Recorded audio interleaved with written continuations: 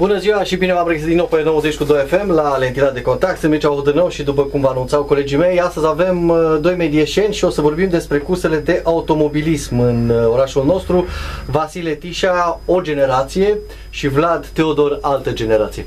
M-am gândit să-i aducem pe amândoi. Eu discutam chiar în uh, weekend la tenis și mi-a spus că Vlad are încă, sau nu pot să spun că avea, are încă microbul ăsta cu mașina și cu cursele de automobilism și atunci am zis să aducem două generații să discutăm despre ce a fost, ce este și probabil și despre viitorul Poate curselor. ce va de... mai fi. Da, ce mai fi. Bine ați venit, sunteți în premieră, cel puțin Vlad la în studio și dumneavoastră pentru prima dată reveniți pe 90 cu 2 FM în noua locație. Bine v-am regăsit și mulțumim pentru invitație. E- Sunteți e, printre singurii care își mai duc aminte de automobilism și pentru asta vă mulțumim. Băi, dacă nu era Vlad să-mi spună de, de chestia asta, eu noi am mai făcut emisiuni despre, despre Da, au, cursele de automobilism, dar am crezut că e, cum spune americanul, drop dead, adică au murit. Sibienii mai, mai fac ceva și au uh, mai au parcă un echipaj. Au, au mai multe echipaje și au cultura asta a motorsportului. Și noi avem, vedem că un exemplu e Vlad, alt exemplu este Florin Roșca, care Vlad a fost și vicecampion și fără talent n-ajungi acolo, deci e un pilot foarte talentat, asta vă spune unul care a trecut prin multe și Florin la fel. Dar uh, noi cei care stăm în jurul lor și lângă ei trebuie să și ajutăm. Dar când ați început dumneavoastră să vă implicați în cursele de automobilism? În 83, Da? deci sunt ceva ani de atunci. Și am început, uh, singur am învățat, că nu, nu avea cine să te înveți atunci, acum mai privești pe la unul pe la altul, atunci nu aveai, era foarte, de fapt, sunt cele mai primitive curse raportat la cei astăzi. S-a întâmplat să avem în istoria mediașului vreo, eu știu, o etapă majoră la, în circuitul României, dacă s-o... Au fost participări în uh, campionatul național de raliu și la VTM din, din Mediaș, dar uh, acum uh, de o perioadă lungă de timp Nu. Uh, nici cei care erau cu bani nu s-au mai implicat și în motorsport trebuie bani, să, bani care să folosească în Mhm. pregătirea mașinii, în participarea în curse. Deci nu poți să, la un pilot tânăr care vine cu și Talent. cu talent și cu uh, o parte din bani, o să-i pretinzi chiar niște cheltuieli care sunt absolut insuportabile pentru un singur om. Mai țineți minte când a fost prima cursă? Adică ultima cursă la, la Mediaș? Parcă pe la barajul Ighiș. Da, la barajul Ighiș și, uh, a, și a fost o cursă foarte reușită, în sensul că ne-am ocupat de organizare împreună chiar cu, și cu Radio Ring și cu, mă rog, cu toți cei care erau dispuși să ne ajute și uh, pot să le mulțumesc și acum, pentru că și cei din Sibiu ne-au, ne-au luat patentul de, uh, în organizare. Aha. Adică noi am fost un pic chiar mai buni decât ei în organizare. Chiar mai buni decât ei. Vlad, tu când? Când ți-a venit microbul ăsta? De mic copil. Uh, Tatăl meu m-a susținut foarte mult și în practicarea sportului. El, din păcate, n-a apucat să practice. Au fost alte vremuri. Eu, totuși, destul de târziu m-am apucat de, de automobilism, tot din, din cauza motivelor financiare. Uh, am făcut karting pe la 13 ani la Palatul Copiilor din uh, București. Uh, după aia a urmat o pauză și pe cont propriu am avut prima cursă în 2007 la Rânca, la 23 de ani, cu domnul Tișa, care mi era îndrumător. Am Da. avut o cursă destul de ghinionistă atunci, chiar cursa de debut și destul de departe de casă, dar una peste alta a fost bine. Bun, tu ești medieșan jet pe jet? Nu, eu am uh, părinții din Media și bunicii, Așa. sunt uh, o combinație între București, Brașov și Mediaș. Dar cum, cum s-a cunoscut echipa asta, Tișa Teodor? Cum? Bun, ziceai ceva de karting.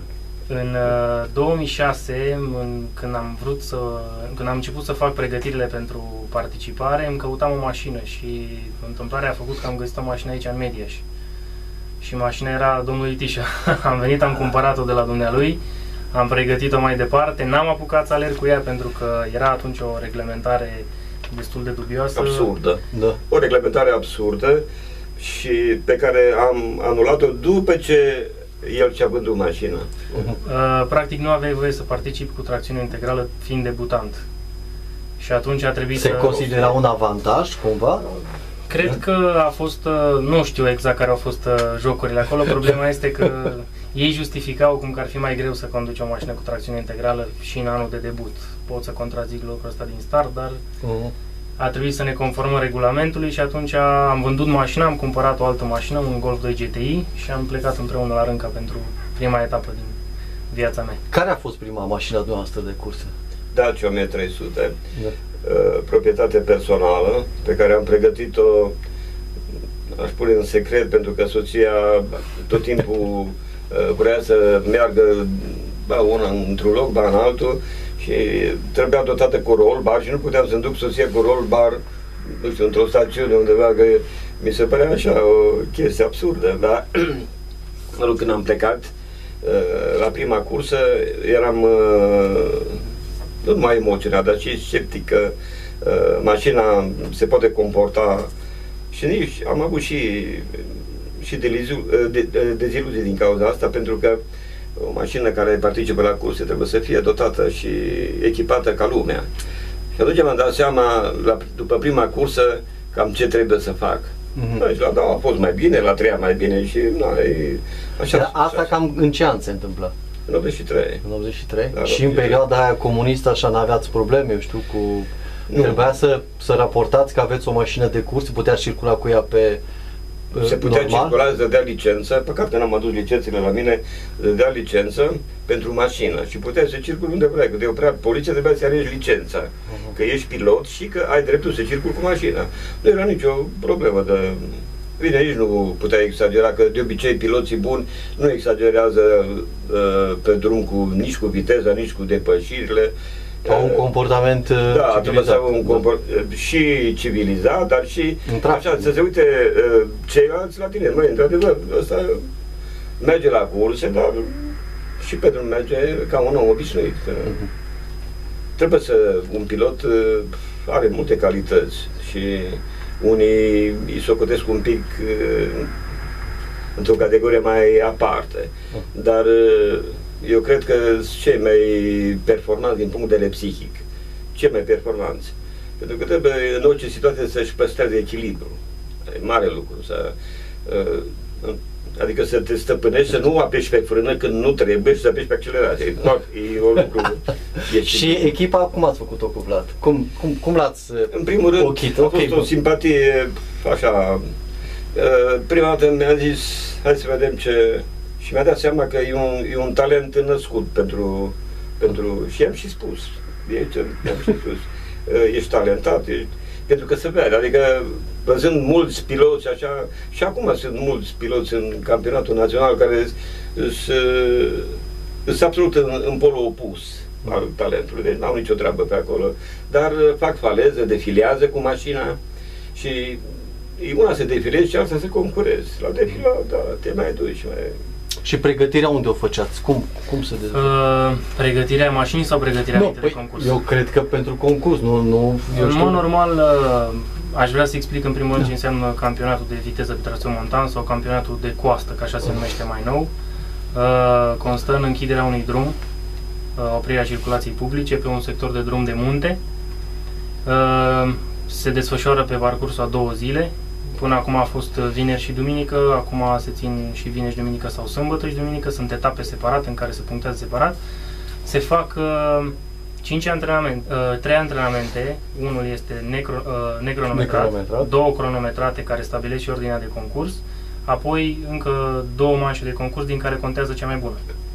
Diferența între coastă și raliu este că la coastă pilotul merge singur, nu are copilot, se urcă pe același traseu, nu se schimbă probele și uh, se luptă singur doar cu timpul, nu cu alte mașini pe circuit.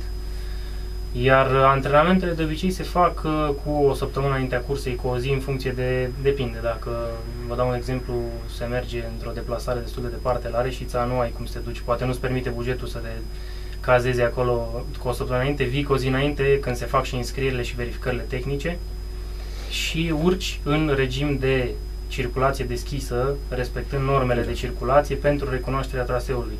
Practic trebuie să înveți doar virajele să le știi pe de rost, vei încerca să mergi pe trasele optime doar în concurs. Au fost câteva incidente legate de cei care n-au respectat lucrul ăsta, îmi pare rău.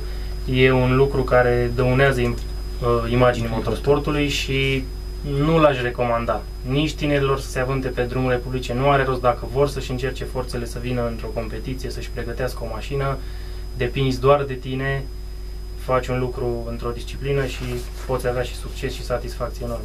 Bun, atunci nu era Google Maps și nici hărțile nu erau chiar așa bine pus la punct să vezi, eu știu, de acasă cam care e traseul Mm. și să studiați împreună antrenori și, și concurent uh, virajele. E nu? Să- destul de dificil de pe hartă să studiezi, trebuie să te Mhm. duci la fața locului. Este Să recomandat notezi singur. Exact. Este recomandat să-l urci și pe jos ca să vezi Da. un pic suprafața asfaltului, dacă există din nivelări pe care poate nu le observi din mașină. Spre exemplu, sub frunzele copacilor rămâne umezeală, poate fi pe o zonă de frânare, poate să se ridice probleme. E bine dacă poți și ai timp să, să urci și Ok. pe jos, dacă îți permite și timpul și condiția fizică. Și nu, nu să, fiecare pilot își face notările lui.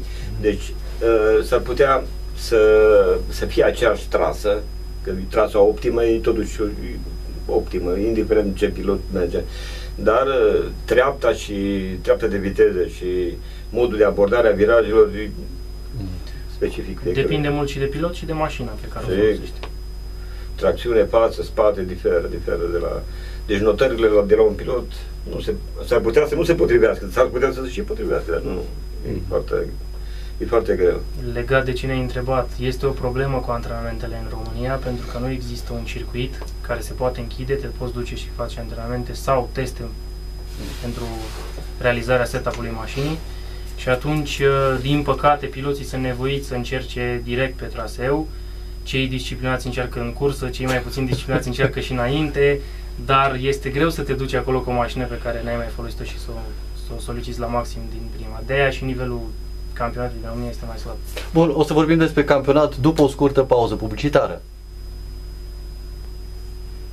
Am revenit în direct la lentila de contact cu Vasile Tișa și Vlad Teodor. Vorbim despre cursele de, auto, de automobilism la media și nu numai, la campionatele naționale. S-a schimbat ceva în perioada asta în care, eu știu, toată lumea din România, după perioada lui Ceaușescu, și-a cumpărat mașina pe care a visat-o, pentru că conducea sau conduceau părinții și bunicii noștri doar Daci înainte. E adevărat, uh, s-au procurat, adică fiecare pilot după posibilități și-a, și-a adus uh, de afară mașina pe care și-a dorit-o, nu numai Da. pentru curse, deci și pentru familie. S-au schimbat multe date din, uh, vorbim de sport acum, multe date s-au schimbat pentru că sunt mașinile mult, mult mai puternice de cum era pe vremea când concuram și eu. Atunci o Dacia ajungea la 70 de cai, acum putem vorbi de 600, de 700 de cai. Și altfel se conduce o mașină de 70 de cai și altfel una de 6-700 de cai. Deci și piloții au suferit o, o, O schimbare. Da, o schimbare și alte reflexe, alte... Cum, era un, un mare pilot care a murit, Colin Murray, știe uh, Vlad, ăla zicea capul unui pilot de, de raliu sau de competiție trebuie să fie compatibil cu Pentium 4. Deci totuși... Ia mai de mult. Era mai de mult. Da. Era mai de mult. Ei bine, el uh, a făcut-o înainte de a muri, deci atunci așa era. Și ca să-l compari pe unul cu, totuși cu un computer și așa, e, îți dai seama ce calități trebuie să aibă. Nu, nu zic că sunt oameni extraordinari, dar totuși sunt oameni cu calități deosebite. Trebuie să fii făcut pentru așa Da, ceva. trebuie să fii făcut. Adică să ai calități native și, pe urmă, muncă, muncă multă și Până la un Bă. anumit moment, uh, dacă ești talentat, adică nu, dacă nu ești talentat în un anumit moment, reușești să faci față, reușești să faci chiar performanțe destul de mari, perseverent fiind, dar uh, cei care sunt campioni, de obicei, de fapt celor care sunt campioni nu le lipsește talentul. Mm. Deci, Vei până la fi urmă, poate tot, un alergător destul de bun, dar niciodată campion. diferența dintre numărul 1 și numărul 2 e tot talentul, nu? Este talentul și, din păcate, pentru că e un sport tehnic sau Și- aplicativ, sunt finanțele. Mhm. Finanțele și mașina. Adică diferența poți să o facă sau talentul sau mașina. Dacă ești mai puțin talentat, mașina poate să facă o diferența de un loc, 1, 2 și chiar 3 locuri. Poate să facă diferența, dar am văzut acum la Sibiu, în fost chiar povesteam la Vlad, uh, diferența între aceeași mașină, adică un concurent român cu aceeași mașină și concurent străin de 22 de ani sau 23 de ani cu aceeași, cu aceeași mașină. Și la, pe prima probă le-a dat două minute diferență. De, îi bătea cu ceasul de la gară, așa. Dar ăla s convins că făcea, practica sportul de mic și acolo promovarea tineretului se face chiar după talent, nu după relații. Adică ești bun, te ridici, ajungi, da? Ajungi unde vrei, dacă nu, nu ai, dacă taică meu sau socrul meu sau nu mai știu cine are relația, asta nu înseamnă că trebuie să te faci pilot, poți să te faci orice altceva. Șef de gară, integral sau... Care sunt competițiile sau etapele la care ați participat împreună ca antrenor și ca... Nu, și nu, la noi nu este antrenor. Nu, nu, nu, cum e? E omul din spate sau și... Da, dacă eu cum l-am văzut că e, e, are talent și că mm-hmm. are pasiunea asta, sigur că așa un sfat, nu zic de, nu știu, de, din ce știam și eu, că mai mm-hmm. mult de atât nu pot să. Dar cea mai, cea mai bună experiență este aia care să o faci singur și mm-hmm. aia e cea Vlad, mai perfectă. Cum e cu, cu alergatul? Eu știu, etape care s-au rămas în minte, ori, ori din cauza eșecului, ori din cauza câștigului. Asta, astea sunt două lucruri care îți rămân uh, în memorie. Spre exemplu, etapă, prima etapă în care am participat alături de domnul Tiș a fost foarte importantă și mi-a rămas în minte pentru că a fost prima pentru mine, deși a fost o, dovadă, o etapă destul de ghinionistă, am abandonat 3 din 5 urcări pentru că am avut o problemă la cablul de accelerație, rămâneam fără accelerație pe, în timpul cursei Uh, după aia, o etapă foarte interesantă a fost în 2009, prima etapă, Memorialul Ludovic Balin se numește la Râșnov, unde am reușit să iau locul 1 și duminică și vineri în uh, clasamentul juniorilor. Uh, în 2009 ăsta a fost clasamentul pentru care mă luptam. Din păcate, și în 2009 și în 2010 resursele s-au terminat undeva pe la jumătatea campionatului și de pe locul 1 am, am condus cam 3 sferturi din campionat și în, și în 2009 și în 2010 și a, apoi a trebuit să, să las un pic, să o las un pic mai moale cu participările și asta m-a făcut să obțin doar locul 3 la juniori. Dar uh, toate etapele mi-au plăcut. Un traseu preferat, dacă v-aș putea spune, cred că este cel de la Straja, de la Alba Iulia, un traseu de viteză mai mare. Uh, e o atmosferă foarte interesantă acolo. De obicei, uh, coasta are și o latură destul de pitorească pentru că te duci acolo, stai cu prietenii, cu cei pasionați, uh, sâmbătă de obicei era liberă și mașinile se țin într-un parc închis în centrul orașului, lumea vine, le vede, discuți. Pot să spun că plăcerea de a merge la curse este jumătate pilotajul și jumătate atmosfera și pregătirea dinaintea cursei. Mm-hmm. La Straj am fost și eu când l-am văzut și am mers foarte bine. Foarte, foarte bine. Niște trase absolut ireproșabile. Și i-am spus, imediat de spus, că mi-a plăcut tare mult. Uh, din afară, din afară e mult mai simplu, adică mai, mai așa, dar când ești în, în mașină și ai și presiunea aia și trebuie să auzi și motorul, trebuie să vezi și traseul, trebuie să vezi și aia și aia, sunt cam multe și da, cam asta sunt punctele care trebuie să le respecte un pilot, da. Cum e să fii singur în mașină și să fii oameni show acolo, mă? Este bine. da. E foarte interesant. De felul meu sunt un tip mai singuratic. Toate emoțiile se termină în momentul în care luăm startul.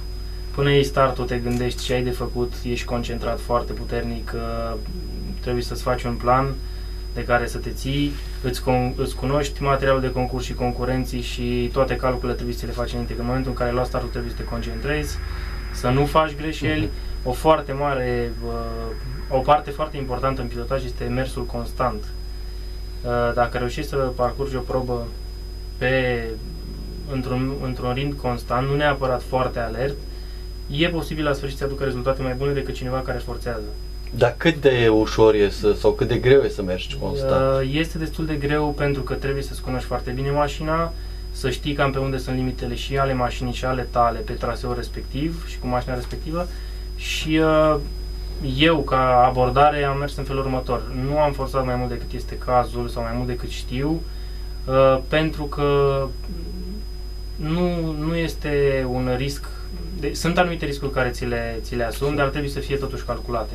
Nu consider că trebuie să mergi fără cap la un concurs și nu consider că piloții sunt nebuni, cum contrar uh, legendelor uh, populare, dar uh, există o anumită doză poate de nebunie la unii. Eu am ales să merg pe, să-mi pregătesc foarte bine mașina, să cunosc foarte bine traseul, să-mi știu limitele și atunci, din mersul constant, am reușit să am registre rezultate mai mari decât cei care au forțat. Mm. Cum e mai bine să, să mergi într-o cursă cu copilot sau fără? Nu? Asta depinde de, de, depinde de disciplină. La, radio, la raliu. Este impusă regula să mergi cu, cu pilotul la VTM, mergi singur. Nu, da. nu. Raliurile se desfășoară pe distanțe mai mari mm-hmm. și uh, traseul nu-l cunoști, se duc și uh, faci recunoașteri recunoașterile sunt limitate și acolo. Dictare. Da. Trebuie să mergi după dictarea copilotului, exact. E o disciplină un pic mai complicată decât cu ai, ai fi tentat să faci o probă de asta cu Da, copilot? îmi place foarte mult și raliu. Uh, îmi place să am copilot, am mai avut oameni pe care i-am dus în dreapta mea, dar nu-mi place să fiu copilot. Sincer, mi-e un pic frică când stau în dreapta. Puțin piloți preferă să stea în dreapta. Dumneavoastră? Eu nu, Dacă ar fi să... Nu? Adică ajuns la niște ani în care chiar tot una, știi, dacă...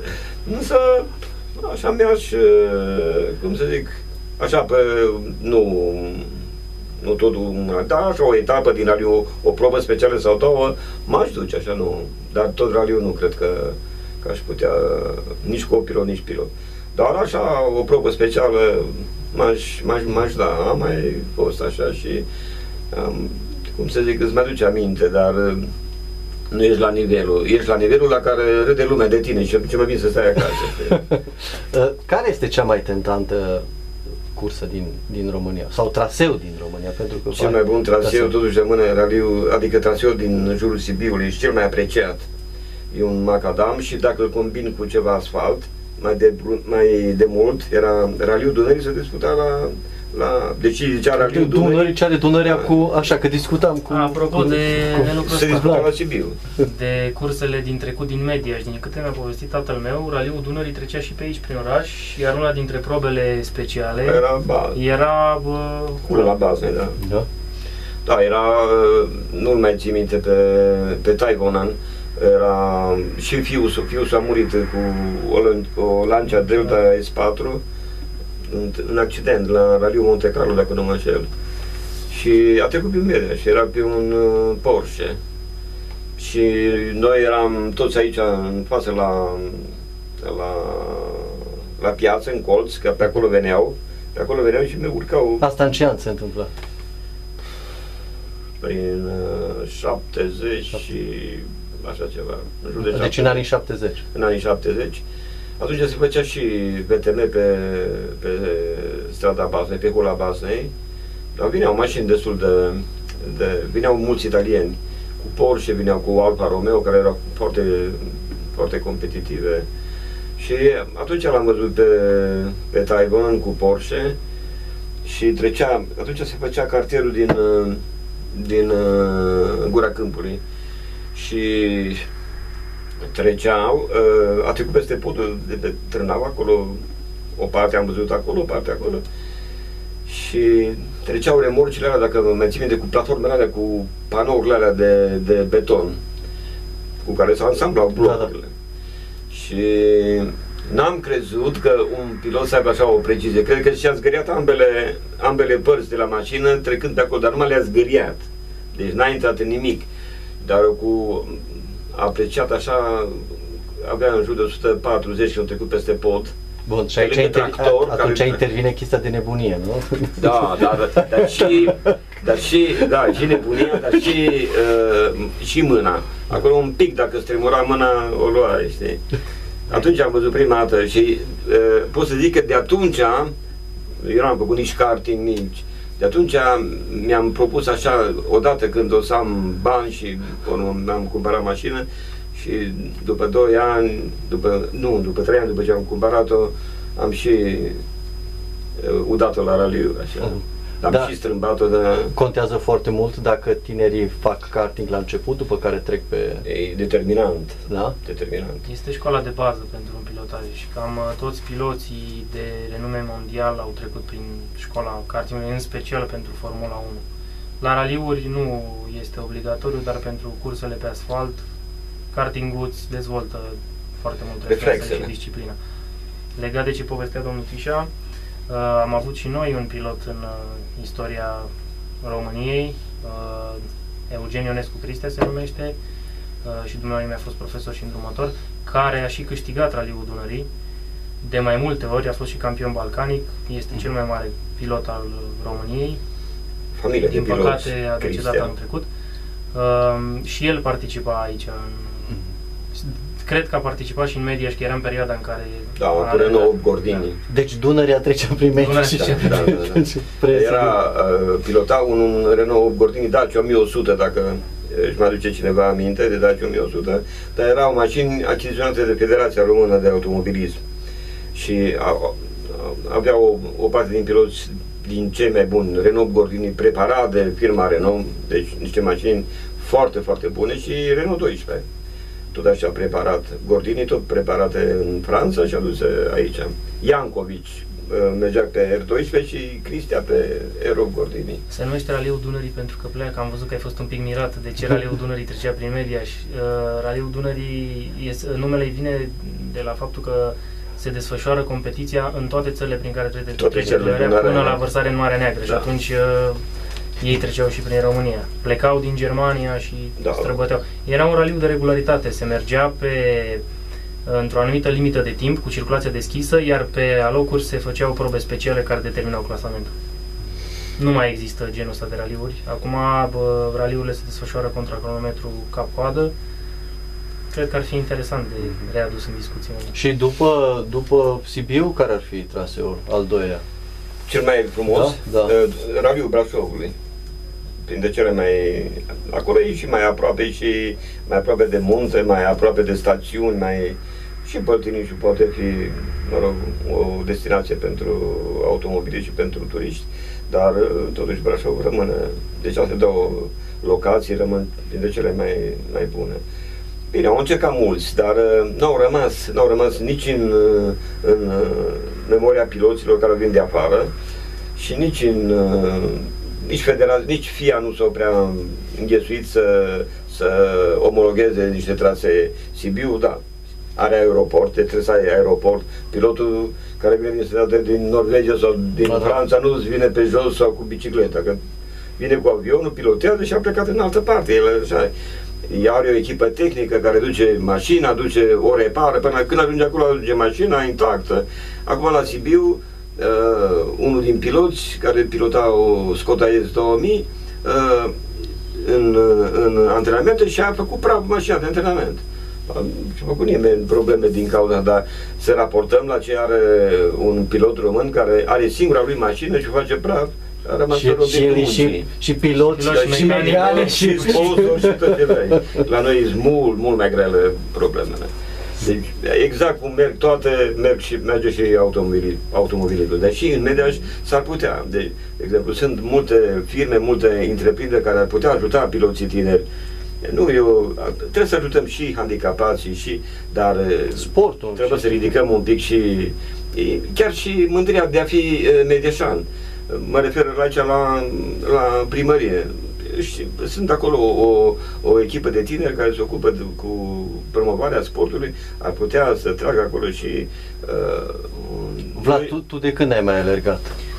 Eu am avut o pauză competițională de un an, pentru că, adică nu chiar de un an, anul trecut am reușit să mai particip ca deschizător de drum, strict pentru antrenament, n-am, n-am intrat în niciun clasament și am avut câteva etape la campionatul regional, dar în campionatul național am făcut o pauză pentru că n-am mai făcut față cu partea financiară, am și vândut mașina și acum aștept să văd ce se mai întâmplă. Sper să Mhm. reușesc să fac din nou rost de fonduri și să încerc să mă lupt și mai sus. Acum, sigur că banii s- lipsesc la, zic la E multe, perioada COVID, de la criză, multe, da. dar trebuie să ne gândim și la, pentru că în timp, uh, cei care acum de vârsta lui o să, condamne, să ne condamne, că n-am făcut nimic pentru ei și trebuie să facem ceva. Și titlul de vicecampion național, când s-a întâmplat? Uh, nu, cred că domnul Tișa a încurcat un pic, locul 3 a fost. Loc? O, tot pe podium. Da, Bun, pe ok. podium.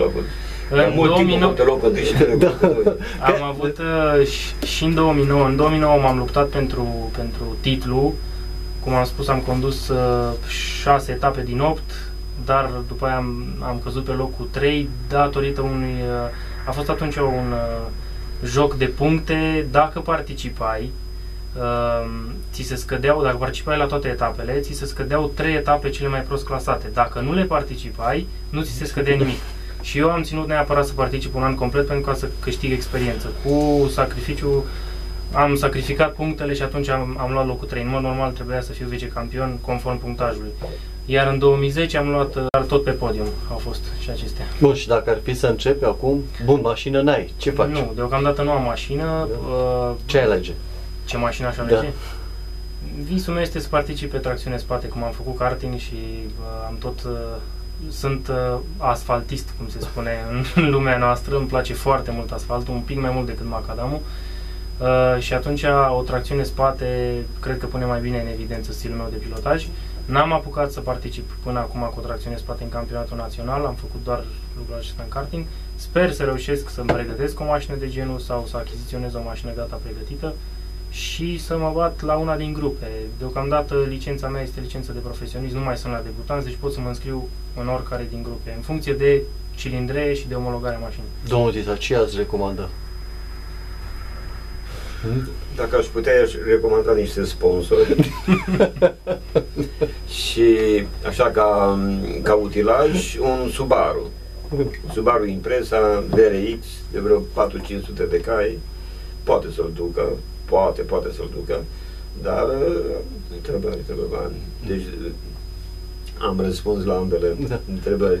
Dacă ar fi să aveți, uh, eu știu, finanțele și uh, tot ceea ce ține de organizarea unui eveniment la Mediaș, unde l-ați face? Cam, cum vedeți? tot pe Idiș sau deci pe drumul Idișului sau pe, e mai greu de, de oprit circulația pe strada Baznei, că acolo e drum, e un drum național și e foarte, foarte greu să oprești circulația acolo, dar pe Idiș este posibil și s-ar putea organiza. Acolo avem și absolut tot uh, și ce privește securitatea traseului, tot, tot, tot, tot.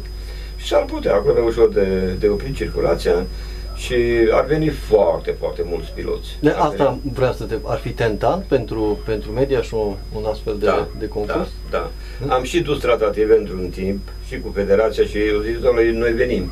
Venim să omologăm traseul. Ăștia pe Ruțănescu, care era secretarul federal. Și o să venim și omologăm traseul și nu e nicio problemă. Venim etapă de, de VTM, de ce vrem noi, nu e nicio problemă. Dar uh, asta mai depinde de noi, că trebuie să implice organele locale, primarul, viceprimar sau mai știu eu cine, nu sunt eu la curent cu cine poate, cine vrea, dar uh, deci a- cam acolo se merge. Nu numai, vin, vin mulți, orașul câștigă, vin turiști, vin uh, piloți Piloți, care da, da. consumă- Locurile de cazare sigur, sunt- sigur, sunt- da. Deci se mișcă mult. Nici n-ar costa cine știe ce, așa, că organizarea se bazează mai mult pe voluntariat, nu? Mhm. Deci cel care organizează sau așa, o face voluntar, nu face Da, da, da, da. contra cost sau trebuie să plătești uh, arbitrii, mă rog, Ambulanță, Da, ambulanță, e- securitate, ce trebuie Închiderea acolo, alea trebuie traseului. plătite. În rest, nu. Deci se poate, deci se poate organiza și ar fi o, o treabă bună pentru media. Și că, Există acum o inițiativă în, uh, în Brașov și în județul Covasna să se țină un campionat uh, regional. Ideea a fost să se, să se reducă costurile, să apară tinere talente care nu reușeau să-și plătească înscrierea la un campionat național și abia după ce reușesc să facă ceva în campionatul regional, pot trece și în Da. campionatul național sau pot rămâne pentru că sunt costurile mai mici. Cred că ar fi interesantă și ideea asta de aplicat aici în județ. O etapă preliminară, Exact. nu? Da, Sau da, da, da. mai multe etape în zona asta în care să participe piloți din zonă, să nu Sunt trebuiască să mulți, se foarte, să foarte mulți amatori. deplaseze foarte departe. Știu în perioada când mai făceam emisiunile la, tot așa la Radio Ring, primea, se primea o grămadă de scrisori, că vrea ăla, vrea ăla, adică există și e bine să, de ce să, să uh, tinerii se apucă de, de lucruri mai rele, că nu are lucruri bune de făcut, știi? Mm. Dacă îl, îl implici în, în sport, și așa, nu există să facă lucruri... Deci și iată trebuie rezolvate într-un, într-un fel. Eu așa văd probleme. Sigur că tot timpul o să fie unii care... A, de asta cu criticatul suntem specialiști. Da, da, da, da, Asta da, nu- da, nu- da. Dar uh, eu cred că se pot, se pot face lucruri frumoase care să placă și la... Și o dată am pus pariu uh, să facă o etapă de, de fotbal și o, O etapă, de deci de două, au- două evenimente automobil. simultan, Da. să vadă cine se duce mai mult la fotbal și la... Și o să vedeți că la fotbal merg mai puțin, o să vedeți. Acum Trebuie să fotbalul și facem noi. experimentul ăsta. O să vedeți că merg mai puțin, pentru că uh, la fotbal zice, bă, eu știu, bă, ăla pe ăla. Ia să vedem ce se mai întâmplă și în domeniul ăsta, știi? Este Ne un place. sport spectaculos. E spectaculos Uh, și Chiar place la și multă pentru lume. necunoscători cred că ar fi interesant să urmărească o mașină de curse. Ar Mm. fi interesant de văzut care ar fi reacția publicului din media și pentru o cursă Și de... poți să iei, de exemplu, în dreapta, pe scaun, unul, mă rog, o persoană care la un antrenament, zic, nu la cursă. Da, da, da. Să vadă cam cum, Cum se derulează. cum se derulează. Am luat odată și un, un uh, m-a, m-a rugat Cristi Toader să-l iau pe comandantul lui din, din Sibiu când făceam pe, la Păltiniș Da. o probă și bă, vreo 2 km uh, s-a cerut afară că nu mai putea. El credea că bă, de afară se fac toate simple, știi? Dinăuntru e mai complicat așa. Eu vă mulțumesc pentru participarea la această emisiune. Să sperăm că mm, ne punem pe treabă și facem. Și noi ceva. mulțumim pentru Ok. invitație. Și despre rock o să vorbim ca de obicei mâine seara începând cu ora 22. Mulțumiri invitațiilor de astăzi, Vasile Tișa și Vlad Teodor, Semici Audărnou. Ne revedem pe 90 cu 2 FM și pe Mediaș News Blog.